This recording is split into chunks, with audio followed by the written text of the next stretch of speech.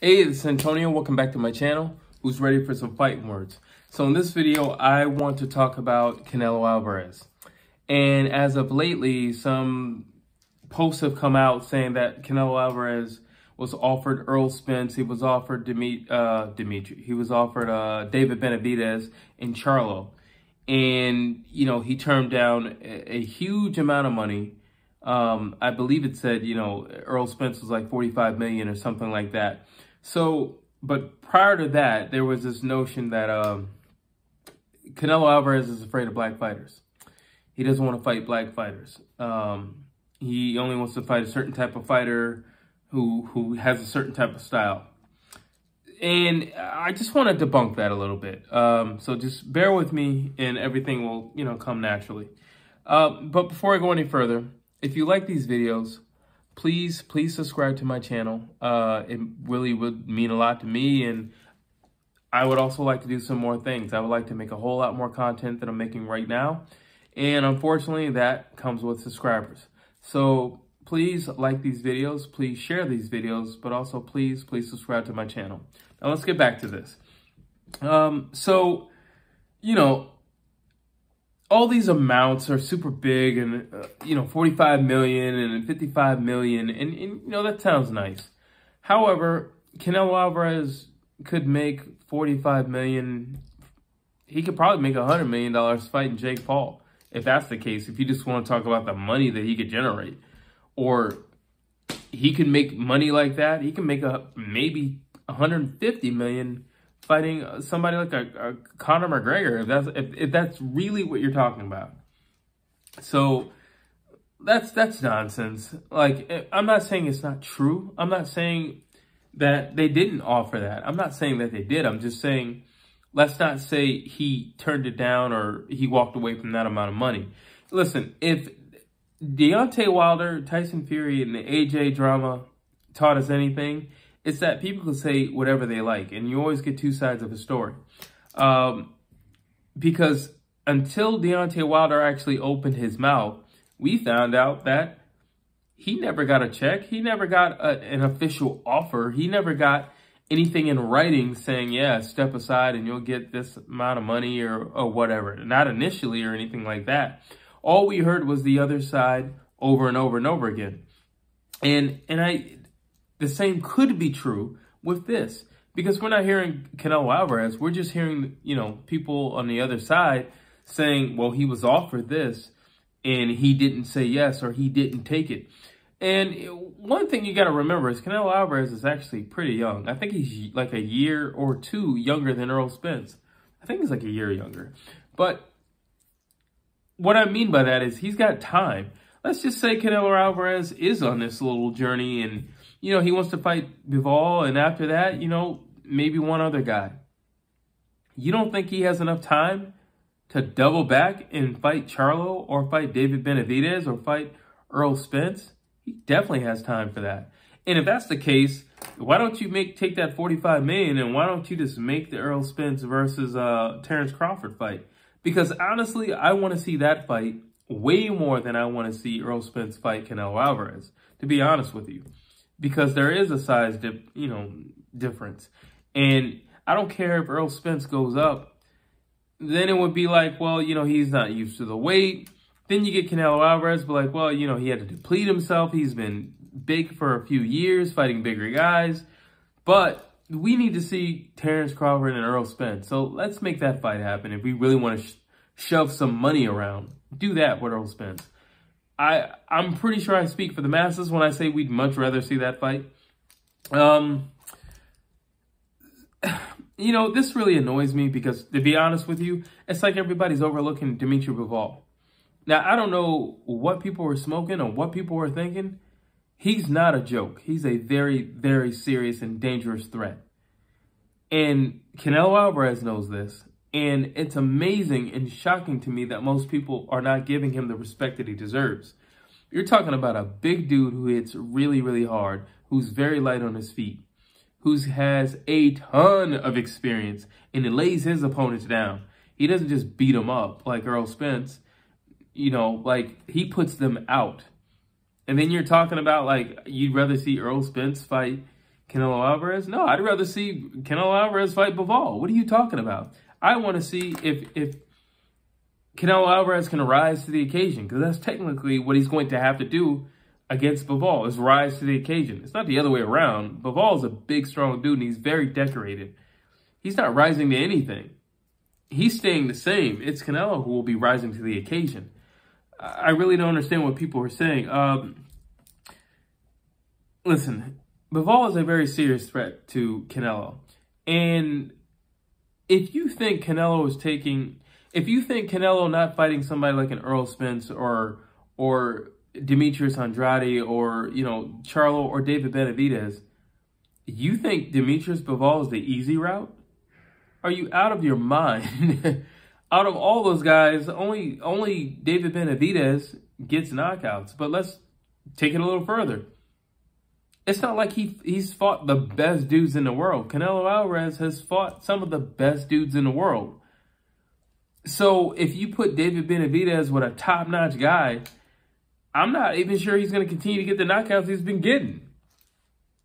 I don't know. I do know Canelo Alvarez will. I do know that. I do know that he'll continue on his knockout win streak, putting guys down. I know that much.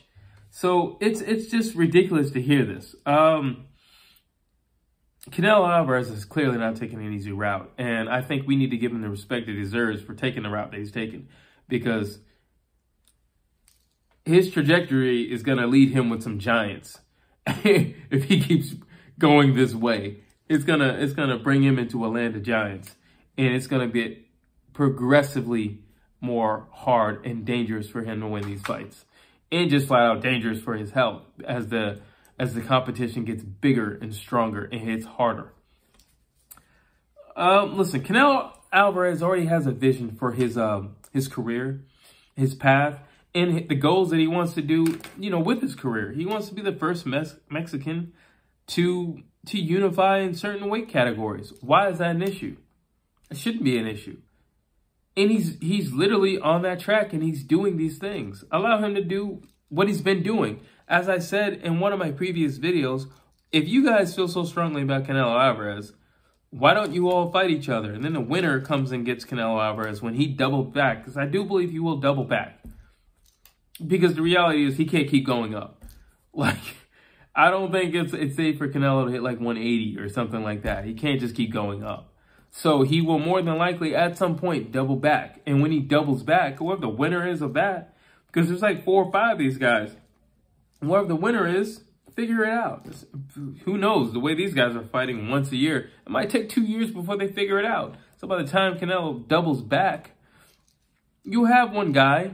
He can fight that individual. Let's say it's David Benavidez or Charlo. It doesn't really matter. He can fight that individual. And then we'll know what would have happened. Simple as that, okay? But just to say that Canelo, no, we want you to fight all of these guys. Why? Why?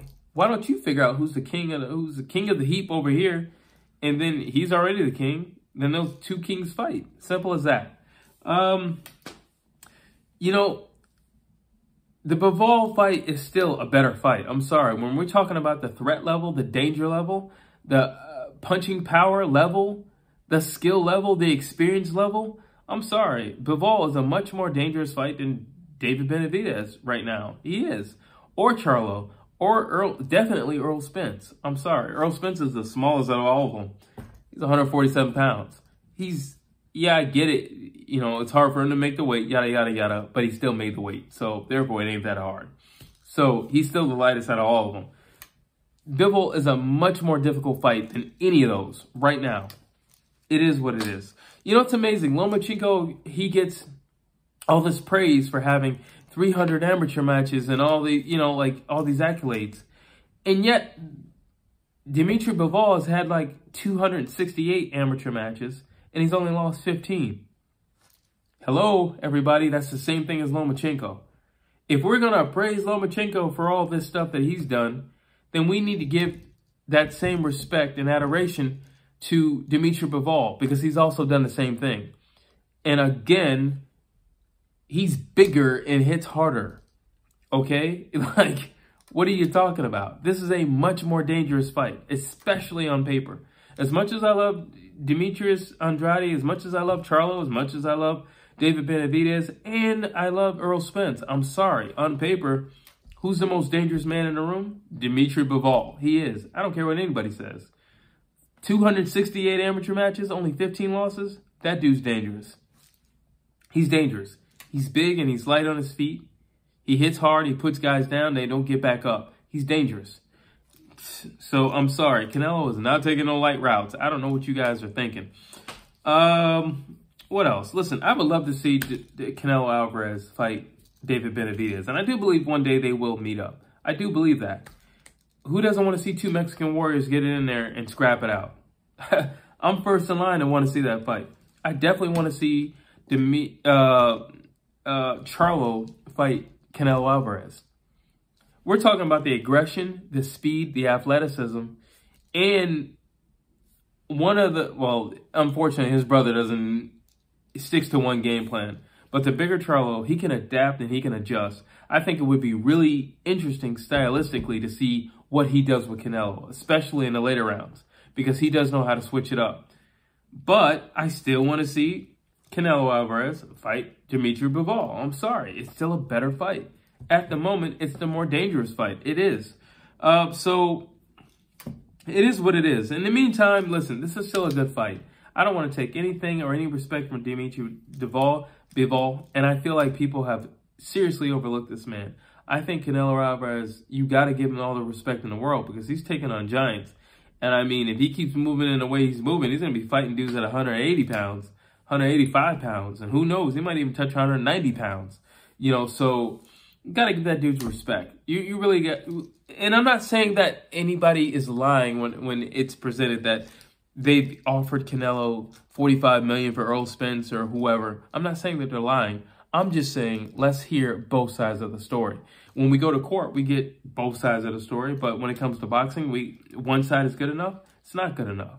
Maybe Canelo has another plan. He's like, listen, I'm gonna double back, but let me just do what I want to do right now, and I'll double back and I'll fight whoever you want me to fight, or you know, whoever makes sense, or whoever wins out of all those guys. If they were to ever fight each other, which makes perfect sense, it makes a stronger argument to say, listen, Canelo, fight me, give me the big payday. Why? Because I just went through all these guys so that I became top guy. So just fight me. You don't even have to fight those guys anymore. You just fight me. I'm pretty sure he would say, yes, I would definitely fight you. But those are my thoughts. You drop your comments down below. I want to hear what you have to say.